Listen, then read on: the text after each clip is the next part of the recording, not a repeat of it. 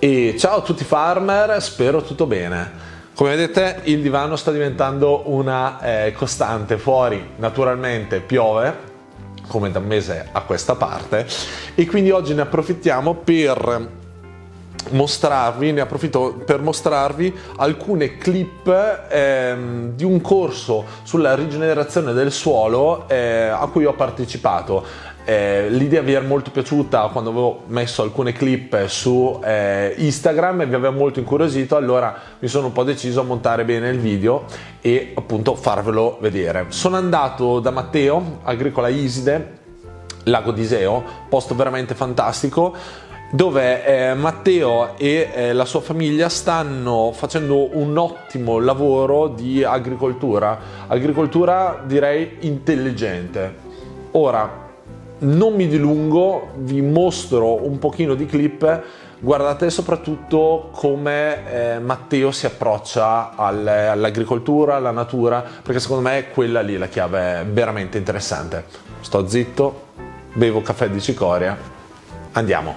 Abbiamo incominciato, incominciamo lunedì anche con Vincent e Elena, corso alla scuola in Norcini Bresciani e poi vorrei fare magari due o tre maiali nostri, però sui lotti di, per dire qua, un anno, ogni cinque anni metto giù 60 cm di cippato, i maiali stanno lì, tre o quattro mesi, ok, che ci pensano, lo fanno loro il compost, e lì io poi coltivo sul, sul cippato. Ah, spettacolare. Sai ogni cinque anni cosa vuol dire? Cioè tu fai crescere, quando voi tornerete tra, tra 10-15 anni, cammineremo a questo livello, no? è l'opposto rispetto a quello che è l'erosione, ma il suolo si crea, infatti cresce, cresce. Eh, vabbè, adesso abbiamo dei cavalli che stanno preparando l'arrivo delle pecore, vengono spostati una volta o due volte al giorno, cerchiamo di fargli mangiare tutto quanto. Su questi terreni qua non è mia grande preoccupazione che calpestino anche, durante, anche mentre piove, perché ho, che, ho bisogno che questi suoli vengano compattati.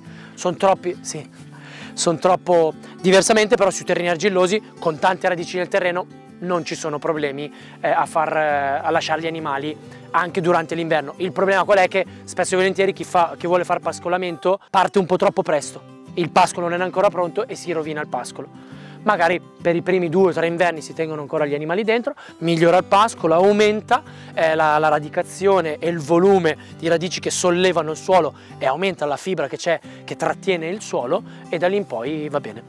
Ora, quest'anno sugli ortaggi c'è nata la bambina a giugno, siamo riusciti a, a produrre comunque stiamo ancora facendo le cassette e andremo avanti ancora sicuramente fino a gennaio. Non ci sono soveci perché non abbiamo avuto tempo. Non abbiamo messo vedete le brassicacee un mese e mezzo sono rimaste nei plateau e non siamo riusciti a trapiantarle. Tutto sommato però è forse anche andata me meglio perché non eh, perché abbiamo avuto pro meno produzione. Normalmente arrivavamo eh, a dover mettere le cose nelle cassette e c'era troppa roba no? Troppo peso e non riuscivamo a mettere tutto quanto. Quest'anno con tutti i problemi che ci sono stati ci è equilibrato un pochettino. Eh, il suolo viene normalmente trattato in questo modo, sovescio quando, quando si riesce, eh, si alletta, eh, mettiamo, noi utilizziamo carta riciclata, eh, rotoli di carta che bloccano la prima ondata di erbe infestanti e una, eh, uno strato di fieno che raccogliamo, avete visto quel macchinario verde lassù? trincia raccogli, andiamo a raccogliere in giro. Adesso dovremo sostituire perché quando arriveranno le pecore non ci sarà, il pascolo sarà per loro, per cui sostituiremo con cippato. Valorizzazione delle piante degli alberi, in più anche piantumazione di alberi apposta per quello, che oltretutto è 100.000 volte meglio il, il, cippato su un terreno che si è già, eh, ha già recuperato le energie. Di base non facciamo più lavorazioni, al limite una forca eh, doppia vanga, manuale, se proprio c'è da rifare i letti e così via, quel ripuntatore che avete visto giusto per decompattare un po', ma dal momento in cui aumenta la sostanza organica e ci sono sempre radici nel suolo, il problema non si verifica. L'idea è proprio, finisce, finisce la coltura, trinciamo, tutte le, attrezzature che abbiamo hanno il passo, le ruote eh, che calpestano solo i sentieri, per cui non si compatta il letto, si trincia, si semina, magari si, si muove un pochettino anche solo con uh, un, uh, un, rastrello, una rullatina, cresce il sovescio, o si trincia o si alletta e di nuovo strato dopo strato.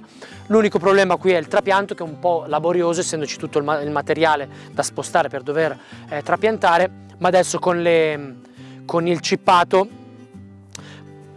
sovescio si, si trincia, si trapianta la coltura senza pacciamatura, facciamo delle mascherine che si appoggiano eh, tipo delle grondaie che si appoggiano sulle file di ortaggi. Noi eh, vedrete fa facciamo una coltivazione molto intensiva, eh, per cui eh, ci sono tante piante per metro quadrato, si mettono queste mascherine, si butta il, il cippato, si sposta e così via. L'ideale sarebbe riuscire a meccanizzare tutto quanto, c'è il modo, non so se conoscete il Murocat, che è una trapiantatrice che davanti ha dei dischi che girano eh, velocissimo e tagliano pacciamature di questo spessore e poi trapiantano eh, le piantine nella pacciamatura. Viene tutto meccanizzato, c'è l'azienda agricola che produce questa macchina che lo fa su, su 20 ettari di, di ortaggi, per cui si può fare. Abbiamo mille prodotti che vogliamo fare partendo dal miele faremo l'idromiele, eh, c'è la propoli, eh, c'è polline, polline di certa tipologia, ci sono veramente una quantità di prodotti infiniti che si possono fare da un'agricoltura perenne, ovvero colture perenni. Da qua incomincia la carrellata di 20 varietà diverse di gelsi, sono quattro specie di gelsi, eh, abbiamo già fatto una prima analisi con vabbè, un chlorophyll meter, in pratica abbiamo visto quali sono già le varietà che producono più proteina e saranno quelle che riprodurremo per poi imbastire il discorso della riproduzione di, di bachi da seta. Second, secondario, ma neanche troppo, produzione di frutti di alta qualità. Noi raccogliendo in giornata e vendendo in giornata possiamo permetterci di vendere i fichi, i cachi eh, e i gelsi maturi. Fate conto che da questi alberi qua, solo questi tre gelsi qua, non sono nostri però li utilizziamo comunque, se si raccolgono tutti i gelsi che fanno si arriva a 6-7 quintali di gelsi. Guardate quanto costa il gelso essiccato negli autogrill. 56 euro al chilo. Io metto le reti degli ulivi col prato alto che mantiene, mantiene tutto quanto bello areato, si seccano sulle reti prendete, le mettete in un essiccatore giusto giusto per finire, avete 56 euro al chilo. Per cui bisogna cercare di sfruttare anche l'intelligenza della natura a nostro vantaggio. Noi di base siamo stupidi, dobbiamo solo trovare il modo di sfruttare l'intelligenza del mondo naturale. Eh? E riuscire a venderla. Sì, sì, sì. Farla la roba è più che altro vendere. Eh, devi creare i tuoi canali. Cioè l'amica la, eh. Noberasco tutte queste cose le sta facendo e sta vendendo a livello industriale. Perché loro sì e noi no? E questo è forse uno degli aspetti più interessanti, come promuovere i propri prodotti agricoli con una buona comunicazione, eccetera, eccetera, ma dall'altra parte uno, una persona che vuole andare a comprare certi prodotti agricoli, dove li va a trovare? Secondo me questa domanda e offerta non sempre si incrociano, perché sono domande offerte che sono cariche non solo di aspettative ma di desiderio di qualità. Un pochino Matt Farmer è questo, provo a mettervi a contatto con più esperienze eh, possibili per mettere insieme le aziende agricole che lavorano bene con la gente che vuole alimentarsi in un certo modo. Comunque a breve vedrete che affronterò bene il problema, vedrete, non ne rimarrete delusi.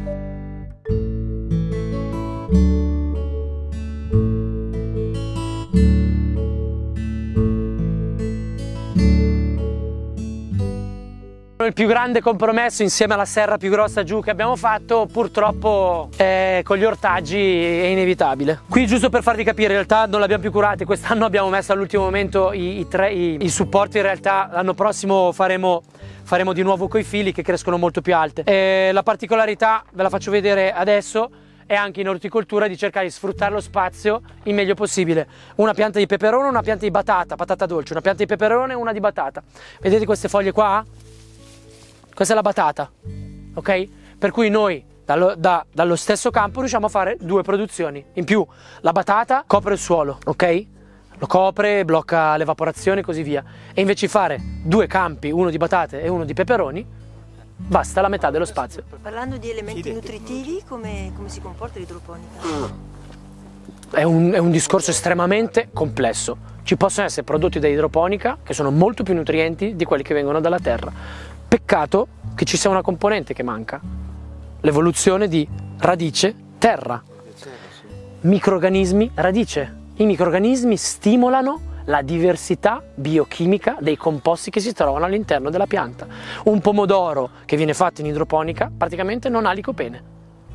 Ti gli puoi dare da mangiare tutto quello che vuoi, non produce vitamine, non produce tutta una serie di composti che vengono stimolati dall'attività dei microorganismi, non del suolo, microrganismi endofiti. Adesso vedrete che tra pochi anni, tornate qua e mi dite avevi ragione, tra pochi anni incominceranno a vendervi non più le micorrize, i microrganismi della rizosfera, cominceranno a vendervi i microrganismi endofiti. Cosa sono i microrganismi endofiti? Quelli che vivono nei vasi linfatici della pianta, che sono quelli che determinano il prodotto finale e la salute della pianta. Il, il problema è sempre eh, se, se bypassiamo 240 milioni di anni di evoluzione vegetale, qualcosa ci scappa, qualcosina ci scappa. Questa cosa che sto dicendo adesso è altamente antiscientifica perché non vi sto mostrando dei dati. In realtà, se si vanno a vedere le ricerche comparative, lo si, lo si vede.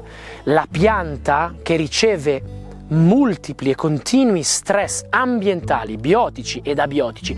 Multipli e continui vuol dire con una frequenza che non riusciamo neanche a immaginare cosa sta succedendo a livello di punture, mangiucchiamenti, rilascio di nutrienti a livello del suolo, temperatura che cambia, sole, pioggia, questo e quest'altro. Questo è quello che determina le risposte ormonali e biochimiche all'interno della pianta.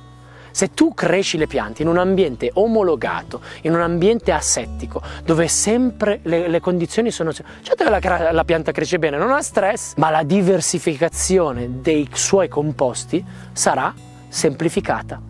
Un'alimentazione semplificata dal punto di vista qualitativo, qualitativo nel, in, in, nei termini di numero di, eh, di, specie chimiche, determina la creazione di individui semplici dal punto di vista cerebrale e dal punto di vista fisico, che avranno bisogno di che cosa? Qua sono state trapiantate un, un, un mese e mezzo in ritardo, per cui colture piccole che hanno sofferto. Eh, abbiamo montato l'irrigazione quest'estate per la prima volta, se no prima facevamo quasi tutto a secco. Velocemente per quelli che devono andare. A, a, sinistra abbiamo un povero frutteto che non abbiamo gestito come avremmo dovuto, stiamo recuperando adesso le, le potature per impostare bene gli alberi, ha già prodotto parecchio. Frutteto su keyline. Keyline è una tecnica per modificare il comportamento dell'acqua, portarlo dagli avvallamenti verso i displuvi, ovvero da dove l'acqua vorrebbe andare a dove l'acqua se ne va via. Per cui cosa facciamo? Diminuiamo l'erosione negli avvallamenti, e aumentiamo il quantitativo di acqua nei punti che normalmente non ce l'hanno.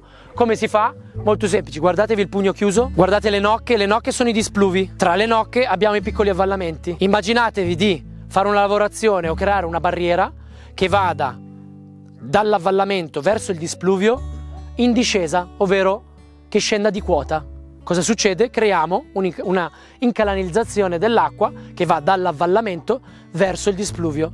Infatti quando qua piove tanto, vedete che l'acqua scorre dall'avvallamento che è la centrale, dove c'è la parte concava, verso l'esterno che è la parte più alta.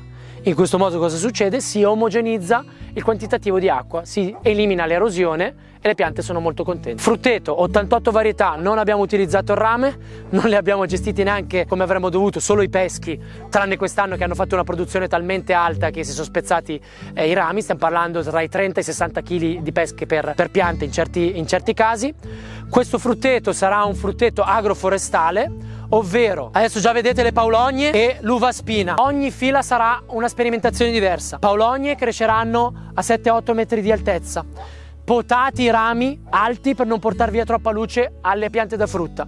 In mezzo, tra una paulogna e l'altra, o una conifera o una pianta ad alto fusto per arrivare ad avere un po' come nel bosco, piante ad alto fusto, secondarie, livello dei fruttiferi ed erbacee, uva spina. Poi sotto mancherebbe un po' di magari rabarbaro o, o cose del genere. Per cui ogni fila, vedete, lì abbiamo ribes, più giù abbiamo la giostra, tra i meli già diverso abbiamo meli e in mezzo Gledizia Trecanthus che protegge il melo. L'idea di avere dei top canopy, per cui delle piante che arrivano in alto, è di creare una protezione, eccesso di luce, eccesso di calore, ma soprattutto protezione dalle, dalle grandinate. Non vogliamo mettere una rete antigrandine, vogliamo diminuire l'effetto delle, delle grandinate. In mezzo tra le file pascoleranno gli animali che gestiremo con i fili o con le reti. Vado veloce così finiamo. Ortaggi, adesso qui è l'unico, questo e quello, non avevamo tempo, sono gli unici campi che abbiamo fatto da quando siamo qua che non sono stati coperti, se no questo, questo qua è è la regola, per cui qui oltretutto c'era un po' di cippato. Terreno sempre coperto, qui abbiamo raccolto tutto quanto. Vabbè, la densità di, di ortaggi deve essere sempre molto alta. Qui abbiamo già raccolto tutti i radichi.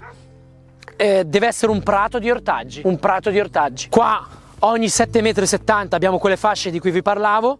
Vetiver, pianta dal, dalle radici profumate si, con cui si fa il profumo base più importante che ci sia, alternato con, con solida, che quella pianta, questa è stata tagliata, quella pianta che si taglia 4-5 volte l'anno per fare un fertilizzante fantastico, si scioglie in due settimane in acqua, è una fibra fantastica, radici carnose molto grosse che accumulano tantissimi nutrienti, queste radici arrivano a 5-6 metri di profondità, per cui qua c'è un muro di radici ossigenanti che stimolano la, la, produzione di microorganismi, riproduzione di microorganismi e anche di lombrichi. Qua è perenne, non si lavora mai, non si dà mai fastidio. Infatti i lombrichi qua stanno aumentando, terreno sabbioso ma stanno aumentando in maniera esponenziale. Il nostro bel muro ci porta i nutrienti che gli ortaggi si fanno eh, sfuggire, li riporta a galla e usiamo le piante in, in, per la fertilizzazione o per la pacciamatura. Paoloni che adesso purtroppo le abbiamo trapiantate tardi, adesso abbiamo fatto già i, i trapianti ogni tre metri che verranno sempre potate molto alte e per cui avremo una bella copertura perché gli ortaggi hanno bisogno di ombra. Tutte le foglie aumentano di dimensione perché più ombra c'è più loro aumentano di dimensione. Gli spinaci e così via. In più piante come pomodori e così via non è vero che hanno bisogno di, di, di troppo sole, hanno bisogno sempre di un po' di ombra. Come decidiamo il quantitativo di ombra? Potiamo più o meno i rami eh, alla base dell'albero. Vogliamo un po' più di ombra? Li lasciamo. Vogliamo meno ombra? Potiamo. Cioè l'idea, adesso tutte le altre più o meno le abbiamo già un po' raccolte. L'idea, vedete, un, deve essere un prato di ortaggi. Vedete ancora qui il pattern, l'esagono? Con la pianta al centro? Queste è settonce, infatti la copertura è totale. Qui ci ha buttato giù tre temporali, ci hanno buttato giù il vigneto, adesso rifaremo la, la, la pergola, abbiamo avuto tanti danni tutti questi rami qua, quelli spezzati o quelli piegati, sono stati piegati dalla produzione. In fondo abbiamo avuto dei danni ancora ancora maggiori. Solo di pesca, ad esempio, ci sono 14 varietà. Qui un po' di sperimentazione con eh, sempre attenzione ai, carciofi. In questo caso fichi eh, di diverse varietà, eucalipti, sono eucalipti resistenti al freddo per la produzione sia di oli essenziali, ma fioriture durante fioritura eccezionale, importantissima, medicinale per le api durante il periodo in cui le api non hanno niente. Eucalipto, questo è Eucalyptus gunni, Eucalyptus gunnis, eh, gunni, Eucalyptus viminalis, attento qua, eh, eh, che sono piante stupende che faremo andare su belle, belle in alto. Eh, per cui produzione di oli essenziali e miele in periodi eh, estremamente importanti. Fate conto che arnie che, con cui ho lavorato in Australia i boschi di eucalipto producevano 250 kg per arnia di miele l'anno, stanziale. E resiste al freddo?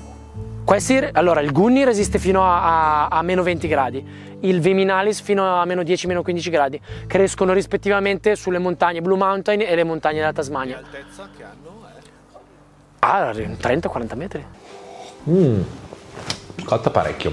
Caffè di cicoria, ve lo consiglio, lo beveva mia nonna in guerra e eh, non contiene caffeina, veramente buono, quindi io ve lo dico.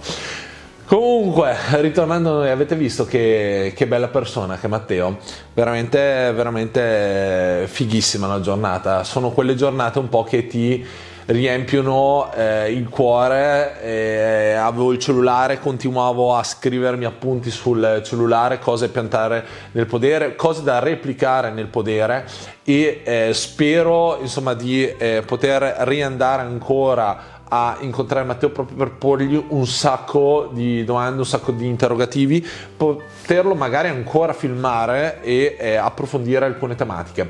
Io spero che questo video ti sia piaciuto ti ricordo che qua sotto ci sono i commenti, mi raccomando arricchiamo tutto questo video di grandi commenti, buone discussioni in modo tale che tutta la community possa crescere in questo modo. Ti ricordo sempre di mettere anche un mi piace perché il mi piace serve soprattutto per farmi capire se avete apprezzato o meno il contenuto, quindi per me è, è molto importante. Vi lascio anche in descrizione i contatti dell'Agricola Iside se volete capire come lavorano tutto il percorso che stanno facendo, se volete comprare i loro prodotti. Insomma, qua sotto c'è sia il sito sia il profilo Instagram, che così c'è tutto. Detto questo, ci vediamo al prossimo video. Ciao a tutti!